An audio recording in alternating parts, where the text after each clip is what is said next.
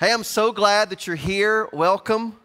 Um, you know, last week we uh, were able to kind of do kind of a standalone devotional. I told you last week we're going to start a series about marriage. And, and listen, um, if you're new, um, if you're single, if you're divorced, if you're widowed, if you're uh, married, happily married or unhappily married, I'm glad that you're here this we're going to look at the biblical biblical perspective and i think um, we're just going to jump right in. We're going to pray and we're going to jump right in. So let's let's bow our heads and let's pray together. God will you speak to our hearts tonight? Lord um, you have wonderfully and fearfully and incredibly made us each of us.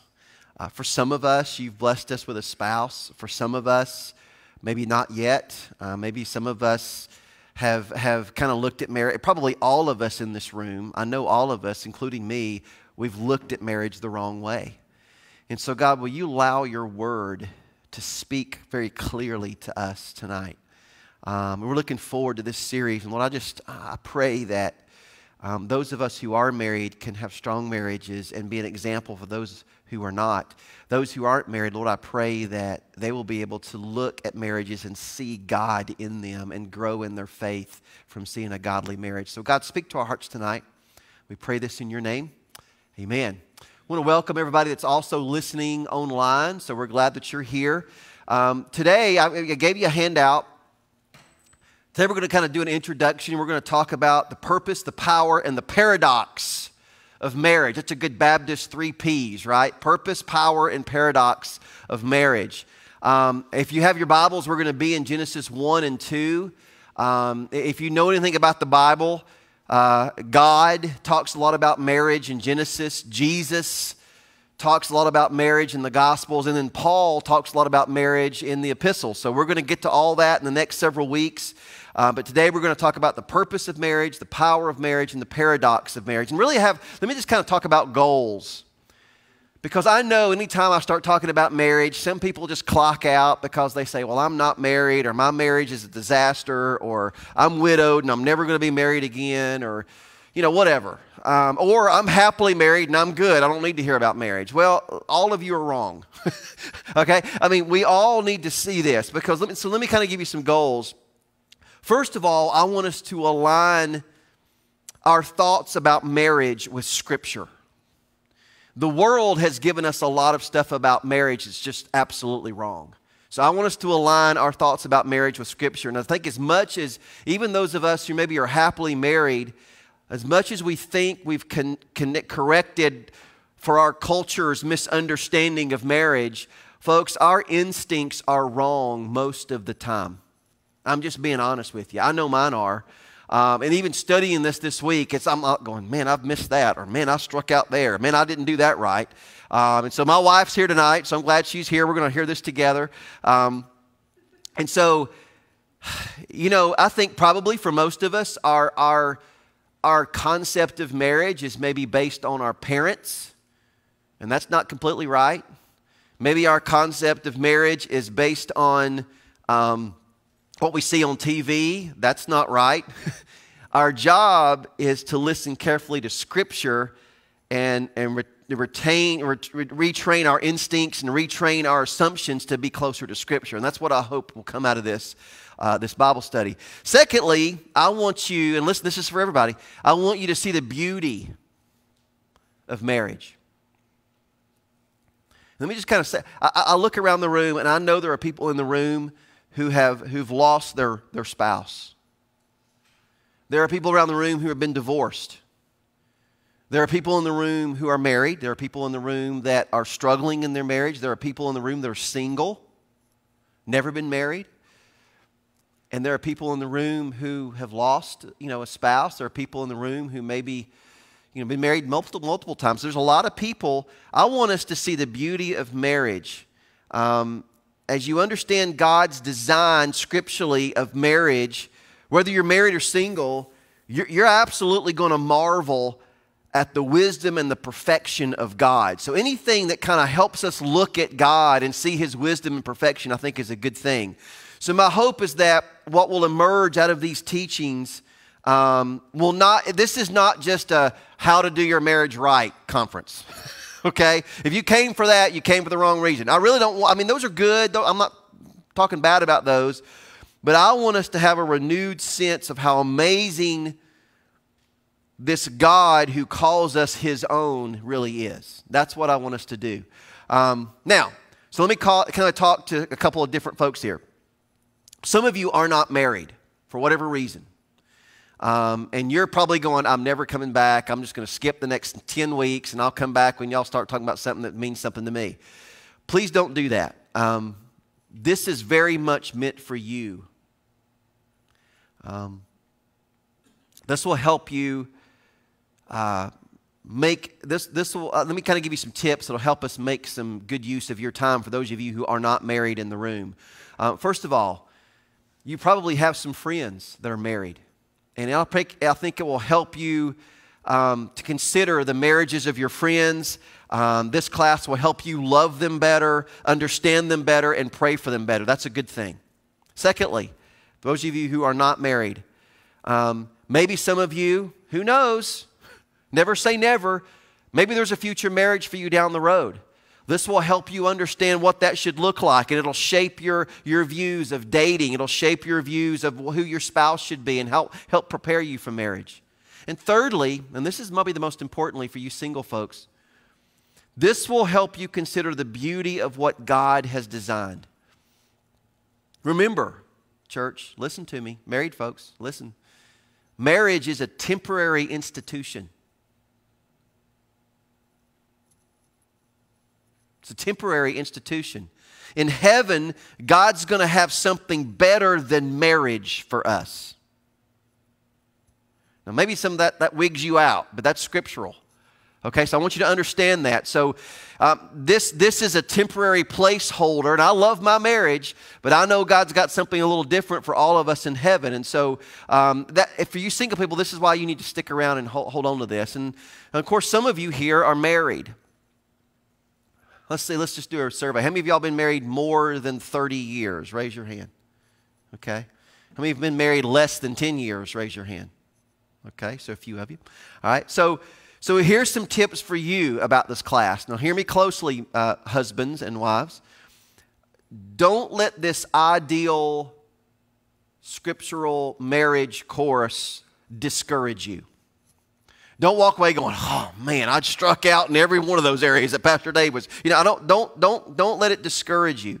Um, if you've been married for a while, your experience in marriage, you know that you've fallen short of what the Bible offers. You know that because you're human, right? And so don't let it discourage you. Secondly, um, please do this.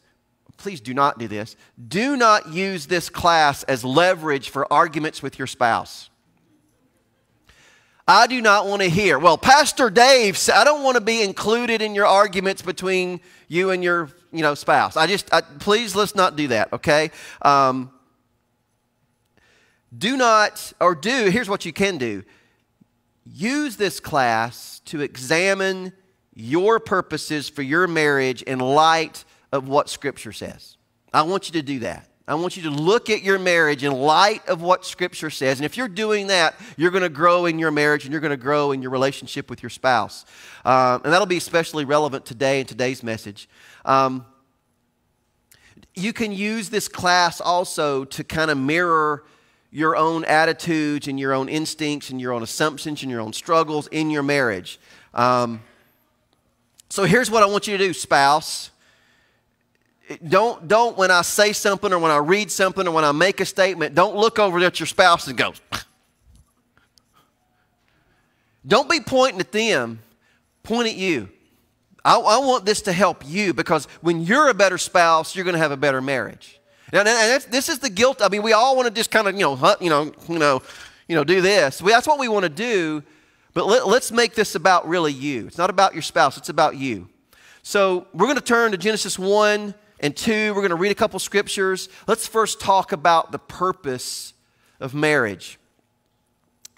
30 years ago, on May the 9th, um, I stood across my beautiful bride, Leanne, in a church in Jonesborough, Tennessee, at Cherry Grove Baptist Church. And, in front of a lot of people, and we made some promises to each other um, as long as we both shall live. Um, and then all of a sudden, we were husband and wife, right? Y'all went through that process as well, probably some of you. Um, and, I'll be honest, uh, just being married is, is a great part of my life. Um, it's, it's been a testimony of the mercy and the goodness of God. Leanne and I have had ups and downs. Um, you know, we've had all kinds of experiences, but it's, it's really been the best part of my life. And, and I've been married now more than I've lived. I mean, right? I've been married more than I've not been married in my life, right? And so, so why did we get married? I mean, that's a question. Why did we get married? Um, one, and I'll just kind of give you my personal opinions. I wanted to stop leaving her house around 11 o'clock and having to drive back to my house. I was kind of getting sick and tired of that. I wanted to kind of you know, just hanging around with her. And she was beautiful and she was gorgeous and I loved her. And we wanted to have a life together. We wanted to have kids together and we wanted to do ministry together. That's, that's why we got married, right? Um, but there was really a deeper purpose for that. And I think if you really think about when you get married, there should be a deeper purpose in our marriages that I probably, I don't think we fully understood at the moment and probably still don't completely fully understand it, but I think there is an understanding more now than there was earlier. Uh, it's beyond kids, it's beyond companionship, it's beyond all the ministry. And it's really maybe the greatest reason for the joy in our marriage. And it's the purpose that we see at the beginning of the Bible.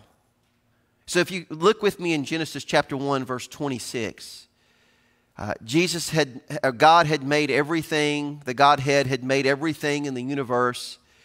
And God says this in verse 26 He says, Let us make man in our image, after our likeness. Our is referring to God the Father, God the Son, God the Holy Spirit, the Trinitarian view of God, God, one God in three persons and let them have dominion over the fish of the sea and over the birds of the heavens and over the livestock and over all the earth and over every creeping thing that creeps on the earth. And so then he does just that. And so in verse 27, it says, So God created man in his own image. In the image of God, he created him, male and female, he created them. And God blessed them. And God said to them, Be fruitful and multiply and fill the earth and subdue it, and have dominion over the fish and the sea and over the birds and over the heavens and over every living thing that moves on the earth. So, just a few things from this scripture. This is scripture you've read before, this is scripture you've read about creation. But let me just kind of notate a few things about marriage in here. First, what you see here in verse 27 is really kind of our purpose statement as human beings. How many of y'all would like to have a purpose statement? Well, it's found right here in Genesis 1:27. We are made according to God's image. Every man, woman, boy, and girl, we're made in the, according to God's image. And that's why we exist. We don't exist first and foremost because God needed us to do something for Him. No, He didn't need us to be, He didn't need us to be fruitful and multiply. He was doing just fine filling the earth by himself. He didn't really need us to do that, right? And so I want you to understand that. He didn't need us to exercise dominion, as verse 28 says. He was doing fine just by himself. No, he made us, according to the scripture, according to his image. That's what he did. He made us as his representatives. And so you point back to the kind of the wonder of who he is. And so think about it. You should reflect God. How are we doing with that? Should be convicting, right? Uh, we were, you might think about it this way. We were made according to his image. And that's kind of two kind of pieces of that. Perceive and portray. Those are two words you might want to write down in your notes. Perceive and portray. Kind of like a mirror, right? You portray an image and you perceive what you look like. We perceive because we're made in His likeness. We can understand who He is from our own experience. We perceive God as, as what we were made. And we portray, and so by people looking at us, we should portray the image of God right? So that's, that's kind of the reason he made us. And so that's our purpose. Secondly, what we get out of this scripture is that when God made man, he made male and this purpose of perceiving and portraying was for Adam and then Eve together. And we're going to see that a little bit more in Genesis chapter 2. Um, and how, that ha- how this happens through marriage. So if you're not married, listen to me, if you're not married, you're just as completely made in the image of God as someone who is married. Understand that, okay? We're all completely made in the image of God. And there's nothing lacking. Listen, listen, single people. There's nothing lacking in you just because you're not married. Understand that. And we're going to talk about how that works between a husband and wife a little bit later. And so, this is a part of our purpose. We see in Genesis chapter 9, verse 6, you don't have to turn there, but I'll, we kind of see this.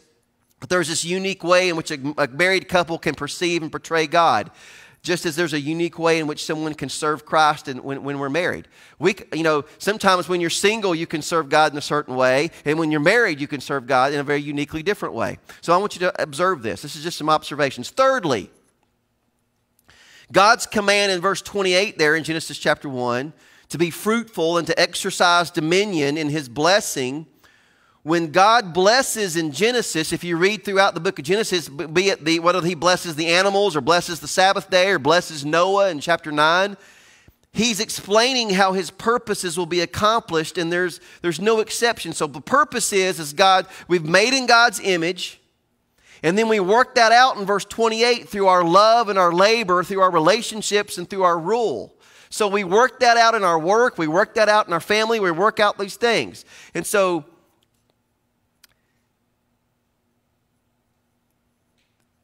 Jesus, again, didn't need us to be productive. He was pretty productive by himself, right?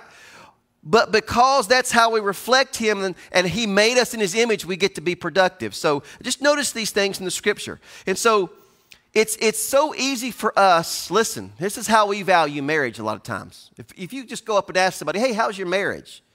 People are going to start talking about, oh, we're blessed. We have a house, we have kids, we have a dog, we have jobs, we go on vacation. We talk about stuff we have, right?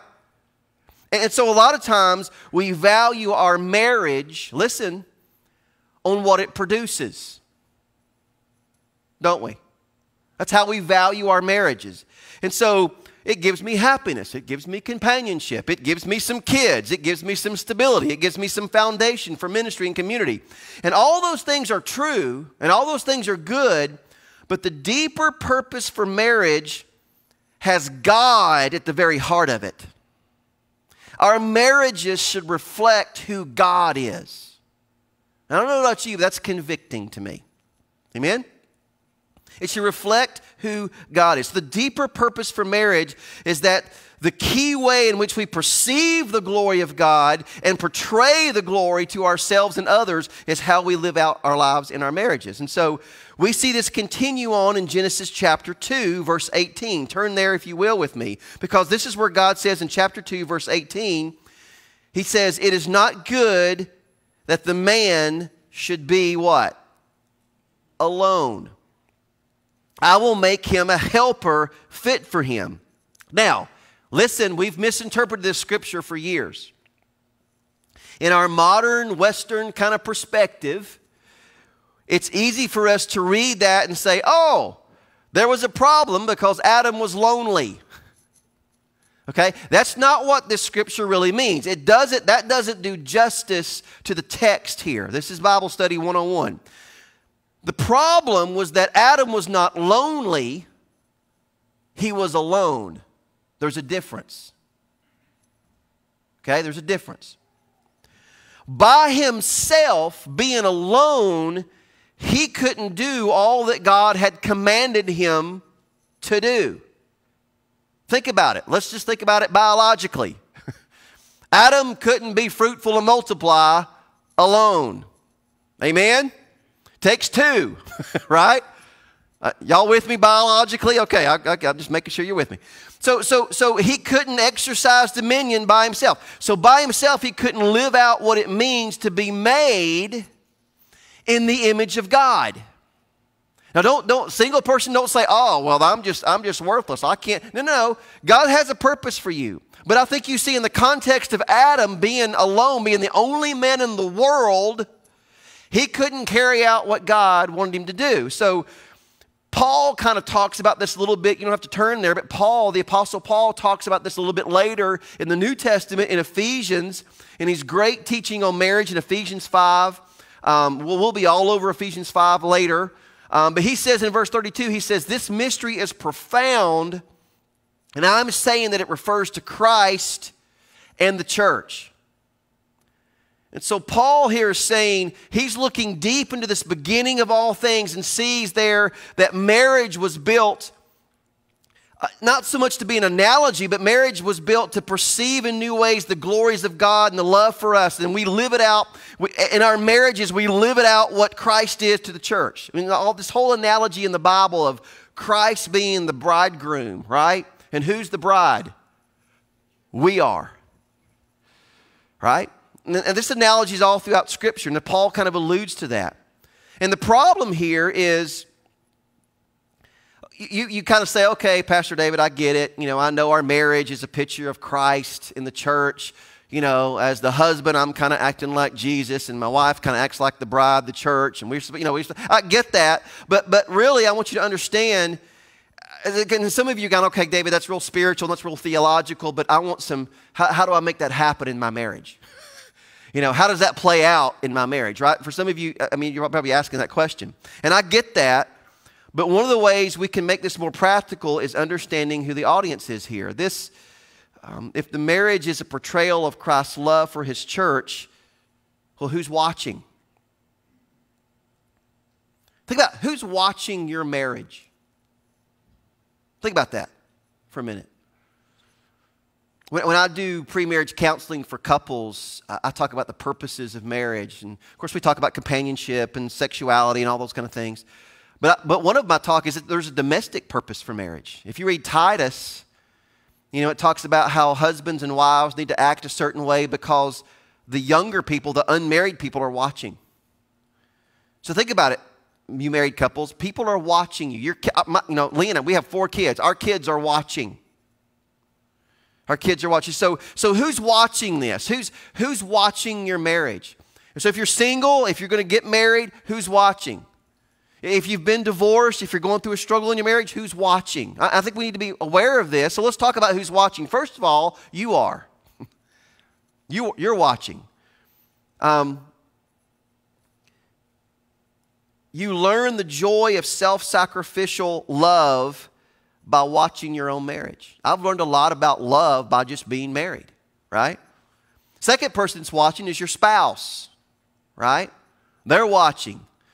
And that follows pretty closely. If, if I love my wife, Leanne, well, it will be easier for her to follow Christ. And the same thing, if she follows, she loves me well, it'll be easier for me to follow Christ. So, so the spouse is watching. Thirdly, if you have kids, your kids are watching. And I'll just go ahead and kind of add another one. Your grandkids are watching, right? Um, think about it. I, some of you out here that have maybe younger kids that aren't of age to be married, you know, there's going to be a day, I'll just use you, uh, you know, Miss Bowman. Um, you know, think about, you know, let's say 10 years from now, uh, we'll, go, we'll go 15 years from now. Caroline's sitting in my office and she's with her fiance and they've asked me to do, you know, the wedding, right? And I'm kind of doing pre-marriage counseling. You know what I'm going to ask Caroline? I'm going to say, "Hey, Caroline, hey, tell me about what you know about marriage. What have you What have you seen in your mom and dad?" right? I mean, don't you want her to say, "Wow, you know, I saw a, a, a man and a woman who loved God first, who loved each other second, and who loved me third." and, and, and they, they went through some struggles. They had tough times, but man, they always looked to God and they loved each other through that and they, they protected me and loved me. That's the kind of wife I want to be. Wouldn't you want her to, I mean, right? Couples, right? Wouldn't you want your kids to say something like that? So your kids are watching, and, and folks, our marriages are profoundly shaping our child's deepest and most sincere theology. I want to say that again. Our marriages are shaping our children's theology.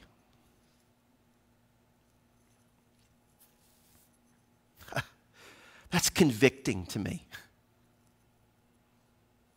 Their understanding of who Jesus is they're learning that from how they see me interact with my wife. Wow. Fourth, God's watching.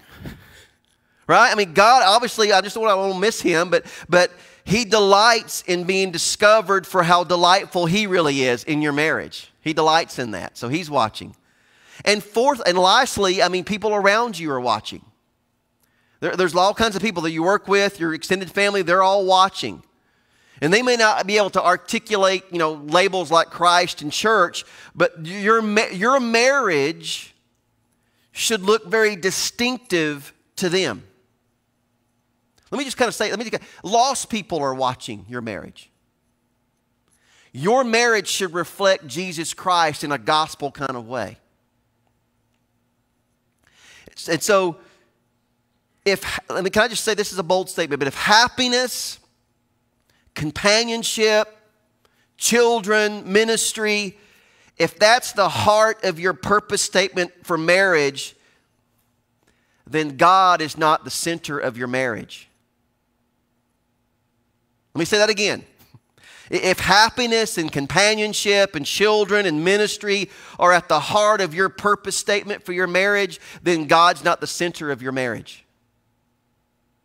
And I think we all understand that God needs to be the center of the marriage. He may be involved in your marriage, and you may be seeking to follow Him in your marriage, but He's not at the center. We've got to understand that marriage is about knowing God, period, right? That's got to be number one. Perceiving who He is and portraying who He is. And so, the closeness of marriage, yes, can make you wonderfully happy. Many, anybody in here married over 50 years? Anybody? Over 50? Got a couple back there. Wow. You know, and I think these, these, these folks are people you need to talk to. These folks, I need to get up here and let them teach and let me just sit down and shut up and listen, right? I mean, because they've been through that process, right? They understand that the closeness of marriage kind of makes you wonderfully happy. But, folks, let me kind of just say if happiness is driving your marriage, your motivation for marriage, you're going to look at your spouse deep down inside one day you're going to just say this Is this it? Because happiness is fleeting.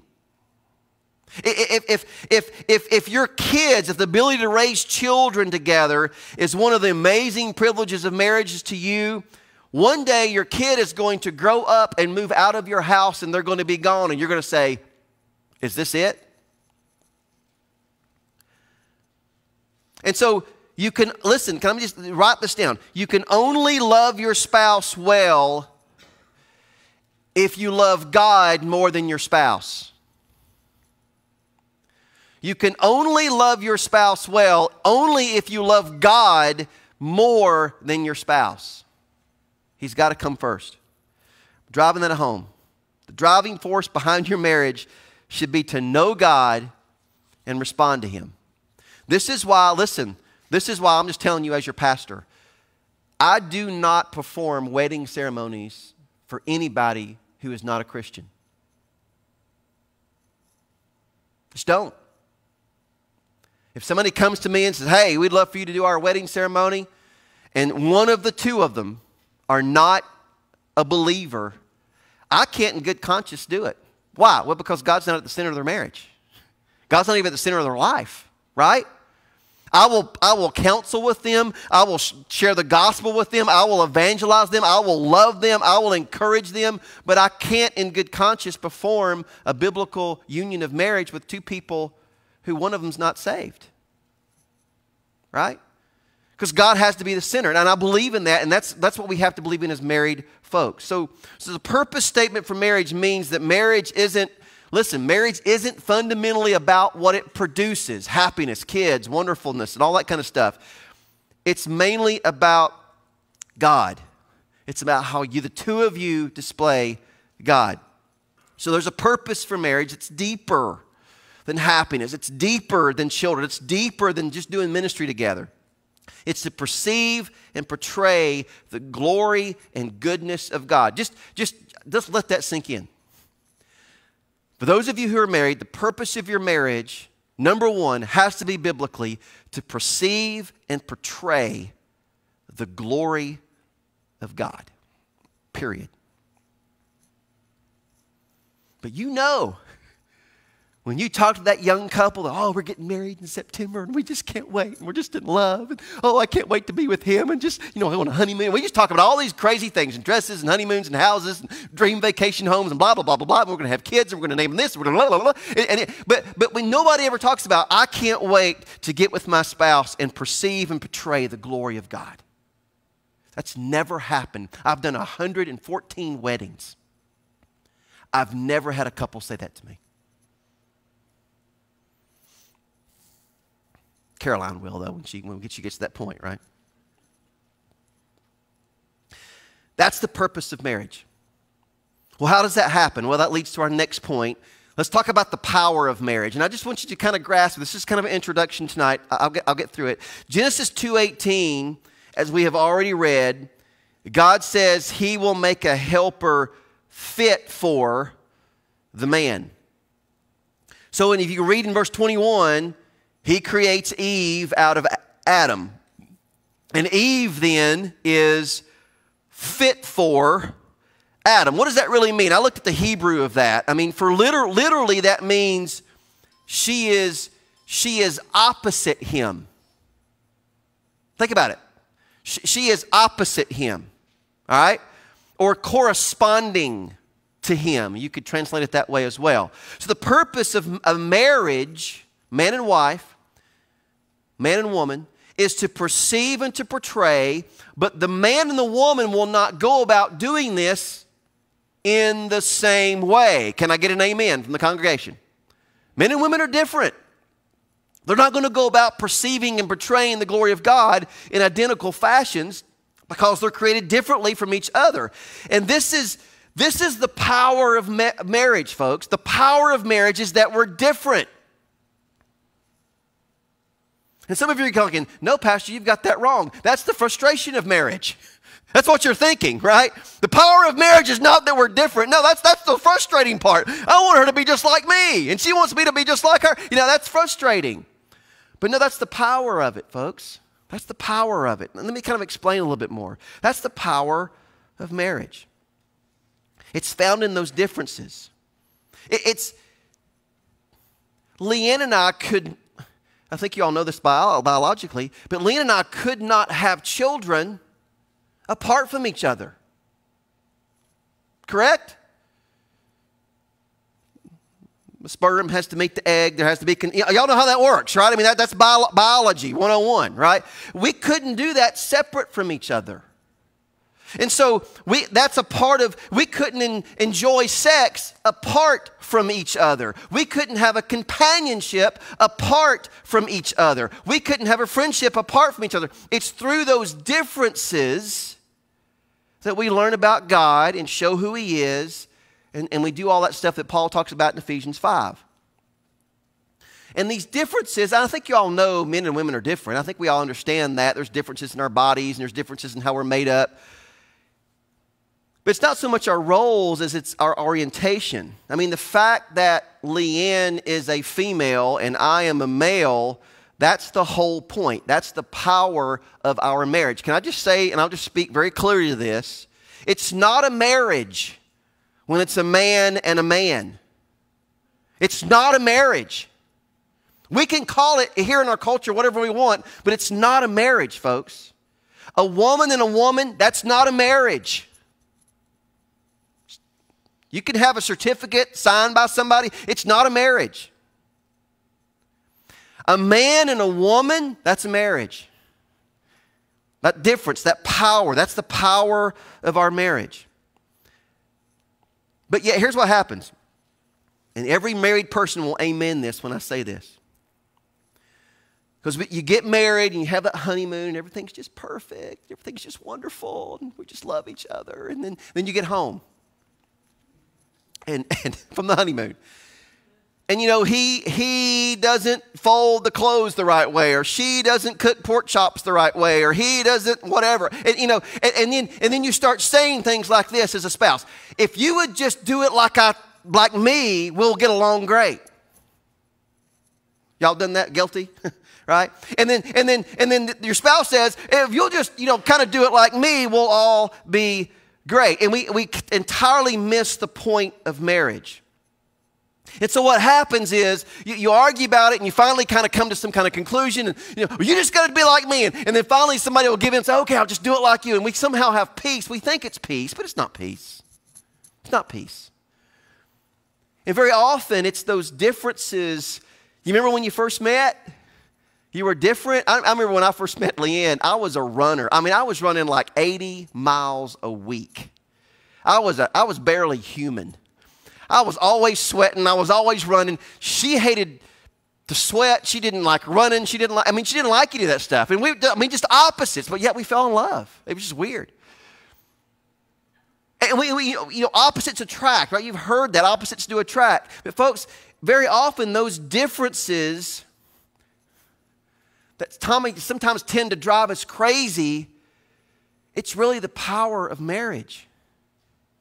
I preached in here not too long ago about the unity in the church, and we talked about our differences, all of our diverse, different kinds of people getting together and unifying in the cause of Christ. That's powerful to a lost world. It's the same in marriage.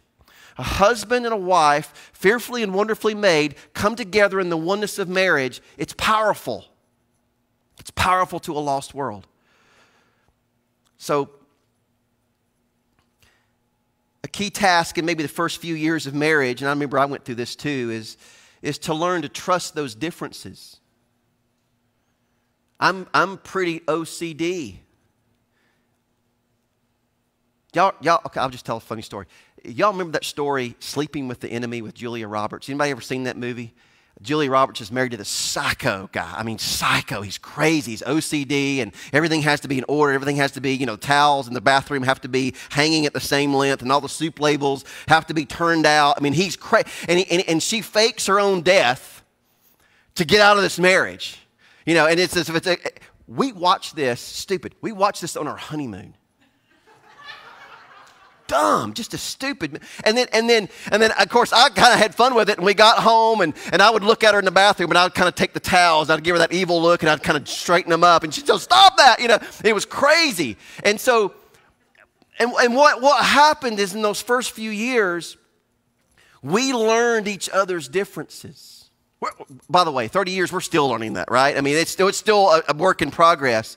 And what, what we're doing is that I know for me, I'm learning she doesn't think about things like I do. And that's a good thing. I'm learning that, that she's much more intuitive about things. She sees the bigger picture, and I don't see that, and I need what she has in my life. And I'm learning to kind of trust those differences. And, and, and when you all know, as married couples, there was a day in your marriage where that kind of flipped, and all of a sudden you're like, hey, I kind of like this. It's kind of weird that we're different, and it's powerful, right? That's happened. So much of this series that we talk about in here is going to be a lot about those differences. Um, and we're going to talk about those in the roles of communication with each other, to sex, to children. We're going to talk about those things in here. Um, and so the differences, again, are the key to every task God will give a married couple. Right? Think about it. Every task that God gives a married couple, He's doing that knowing that you're two different people. And so that leads to our final point tonight is, is the paradox of marriage. Here's what I mean by that.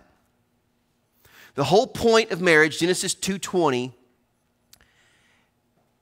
is that the man and woman are different from each other. And yet Genesis 2:24 says this. They shall become what? One flesh. Different, yet one. That's a paradox, right? How can you be different and be one, right? How's that work? And it says, it says, therefore a man shall leave his father and mother and hold fast or cleave to his wife, and they shall become one flesh. And the man and his wife were both naked and were not ashamed. I love that picture in Genesis 2:25. Here's Adam and Eve naked in the garden. The perfect man, the perfect woman. Adam's over there petting the tiger. Eve's over here petting the, I don't know, the duck-billed platypus or something. They're completely naked, physically, emotionally, spiritually. Here's all of who I am.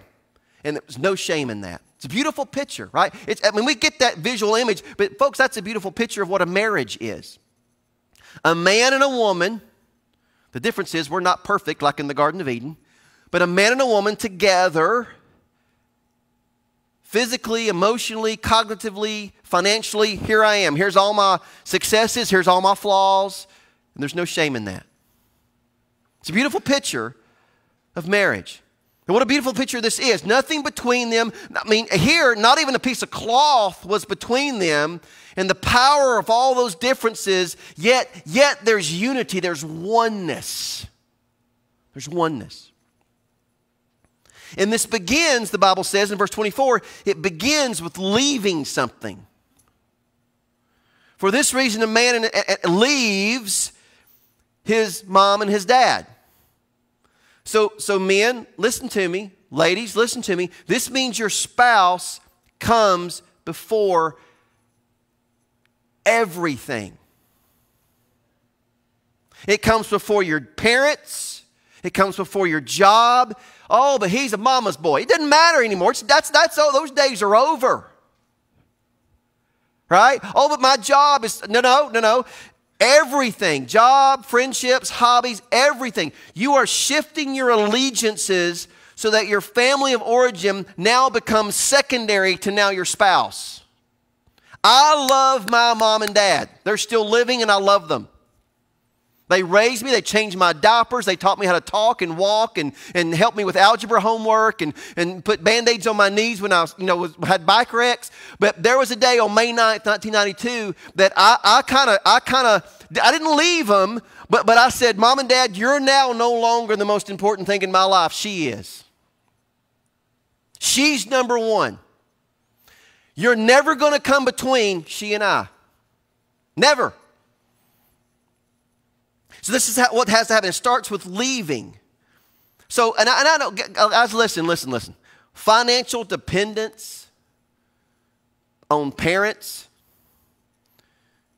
You know, sometimes in the South we have what's called the weaning shed. You ever seen one of those weaning sheds where mom and dad have a big house and then they put a single wide in the front yard? That's the weaning shed. And the, the, the young couple lives there until they kind of get ready and then they go off. I, you know, we, we see. But listen, financial dependence, emotional closeness to maybe a mom and a dad, a reliance on them for advice, that can work to a level, but can also very much derail the process of having a godly biblical marriage.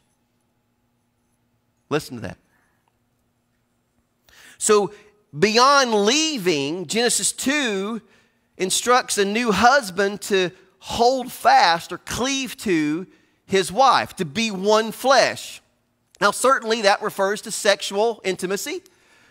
But when Jesus referred to this verse in Mark 10, he speaks more broadly and he says, The two shall become one. The two shall become one. So, one implication of this is just a fidelity, a devotion to each other. God's intent is for a man and a woman to stay together forever.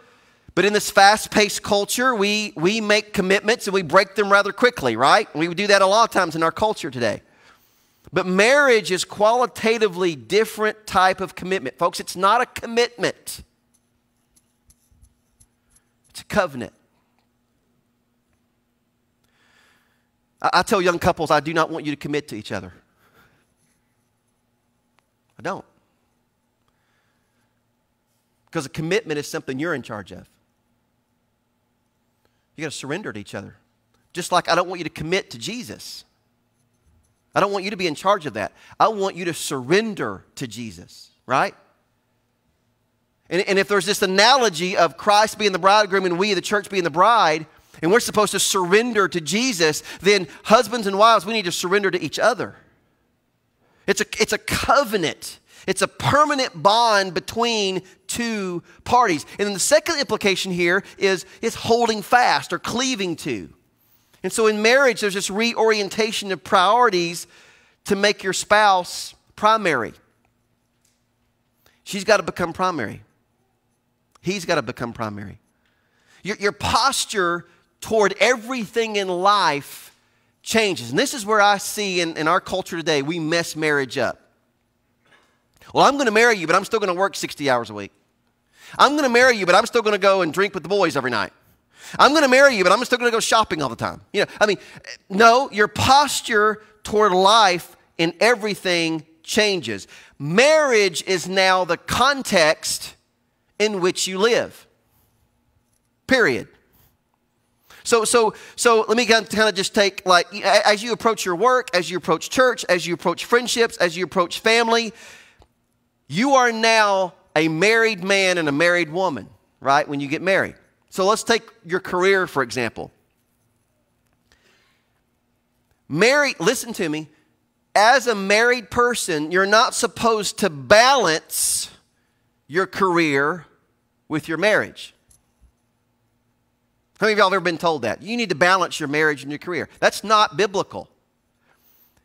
You approach your career as a married person.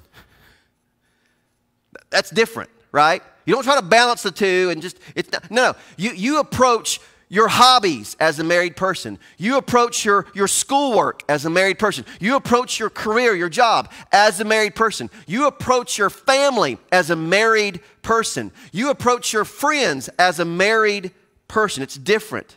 It's different. And so, this holding fast, this becoming one flesh, is very, very complicated because man and woman are different from each other. But remember, that's the whole point, right? That's the power of marriage. The differences is what is, has the power in marriage. And so those differences are how they can experience life in one flesh. And so we're going to look at this over the next several weeks. And again, I, I, want you to come. I want you to bring friends. I want you to bring your neighbors, bring your dog, bring your whoever. Uh, we're going to look at we're going to look at roles. We're going to look at communication. And yes, we're going to talk about sex. Because when used poorly, when those things, communication, sex, and roles, when those are used poorly, marriages start doing this dividing. Used well, there's a oneness that gets stronger and, and it's significant, and there's a completion, and there's a, there's, a, there's a bond there. So, again, the purpose of marriage, it's deeper than just happiness and having kids and doing stuff together. It's really about portraying and perceiving the image of God. And let me just kind of say this, and I'll close with this, and we'll go into prayer. Some people will tell you wrongly that, that marriage um, is kind of the steady pace. You, you got to kind of get to know each other, and you got to kind of pace yourself. And you got, I, I don't know that that's true, to be honest. And I think most of you would agree with this. It's, it, this is more David's opinion. I think marriage is built on a series of defining moments. How many of y'all know what I'm talking about? Those defining moments in your marriage, that, that birth of a child, that crisis, that first argument, that first, ooh, I, I should have forgiven her and I didn't. Or, ooh, I messed that up with him, or I messed that up with her. Th- those, those defining, having, launching a child, off into you know college or wherever. That's those are defining moments. How many of y'all know what I'm talking about? Those defining moments as parents, uh, maybe maybe a loss, maybe a health crisis, maybe a mountaintop experience you guys had that just just knocked your socks off. I mean, all those are are sometimes those defining moments, and I think it's how you respond to those moments and decisions that you make during those moments that make your marriage for better or for worse. Right? And those responses will flow from what you want from your marriage.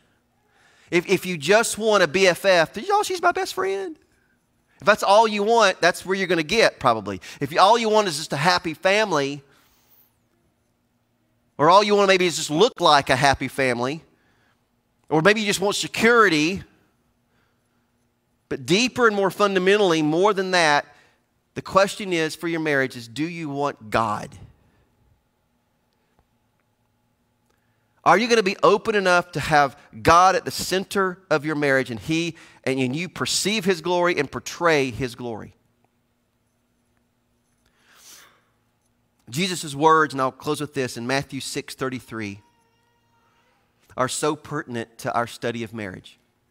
Most of you don't hear this verse in the context of marriage, but it says this But seek first the kingdom of God and his righteousness, and what? All these things will be added to you. Seek first his kingdom. This is the path to marriage as God has intended it. I, I, draw, I draw a triangle to a lot of couples with God being up here at the top apex and husband and wife being down here. And what a lot of times we do as husbands and wives is we start, I'm going to be the best husband in the world. I'm going to be the best wife in the world. I'm going to love you. I'm going to love you. I'm going to give you gifts. And we try to, you try to get closer that way when really the reality is this. That never works. Somebody's going to mess up because you're human. But husband, you've got to get closer and closer and closer to God. Wife, you've got to get closer and closer and closer to God. You've got to get closer, closer, closer. And what happens? As you're getting closer to God, what's happening? You're getting closer to what? Each other. God has to be center. Let's close in a word of prayer. God, thank you for just letting your scripture speak to us tonight and, and just reminding us that our marriages are really not about happiness or contentment or kids or just doing things together and having companionship, but Lord, it's really about portraying and perceiving the image and the glory of God. God, marriage is a divine institution that you created. And every person in this room, including me and my wife Leanne, we have messed that up in so many ways. And God, forgive us. So draw us back to the original scriptural concept of marriage, of perceiving and portraying your glory, recognizing our differences as man and, and woman, and becoming together and holding fast together and being one flesh. And so, God, for the married couples in the room, I just pray that um, Maybe tonight, maybe a different perspective has been released, and maybe they can talk about that. Maybe there's good discussions around the dinner table or at bedtime at night. For the single people in the room, I pray, Lord, that they're getting a better idea of what marriage is about. And maybe even for the people in the room that maybe their marriage in some areas are struggling. Maybe this this is a point of reconciliation and restoration. So, God, will you work and move in marriages in our church? Will you work and move in the lives of single people? God, maybe they're single for a reason, maybe they're single on purpose. Let them know that, God, they're still made in the image of you. They have a purpose, they have a meaning. But God, we thank you for the principle of marriage that you've given us in your word. So, God, guide us and lead us, and I pray this in your name. Amen. Amen.